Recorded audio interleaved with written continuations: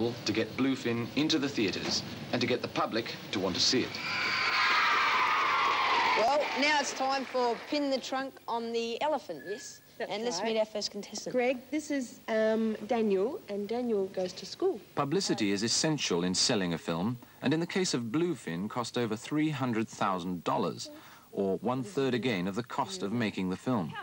We can't hear you. want Greg Rowe. We want Flo. We want Greg Rowe. That's better.